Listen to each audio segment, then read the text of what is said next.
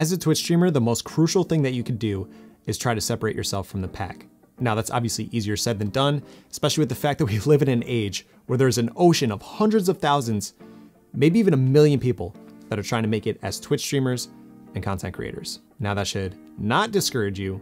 However, it should frighten you and excite you. One thing that I personally do on my Twitch stream to try to separate myself from the pack is I add in these three scenes to react to different moments that happen on stream. So for example, my first one, I have the Pog scene. I use my own personal Pog emote that I use in my stream, but this is for any time that someone subscribes to the channel, gift subs, or if there's just an exciting moment happening on stream. Next, we have my heart eyes scene, which is pretty self-explanatory, but we use my heart eyes emote right on screen, but also have these hearts that go around. And this is for any time that someone shows love on stream, says that they love what I do, or if they react to the title of my stream, which is usually You Look Cute AF.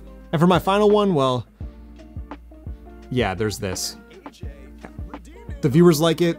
I don't know. I keep it on there. People love it. Don't ask.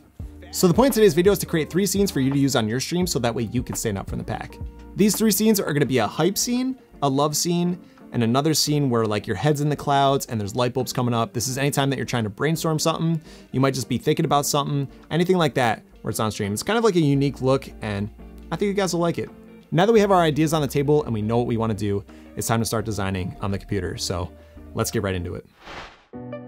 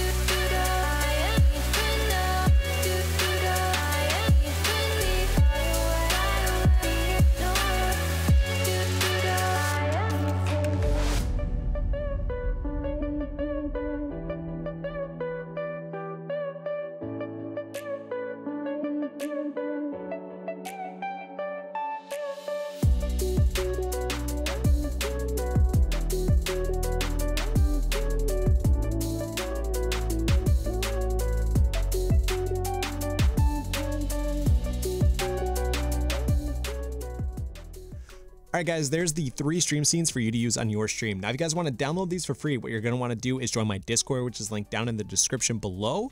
You're going to want to go to the free designs channel inside the Discord. And in there, there'll be a Google Drive link where you can download these for free, no strings attached. Please let me know what you guys think of this video because I really do enjoy making these free designs for you guys and giving you guys help on your Twitch streams in any way that I can. So please leave a like if you guys did enjoy. Leave a comment down below what you'd like to see next, and I look forward to seeing you in the next one. Love, peace, and chicken grease. Oh, and also don't forget to follow my Twitch stream.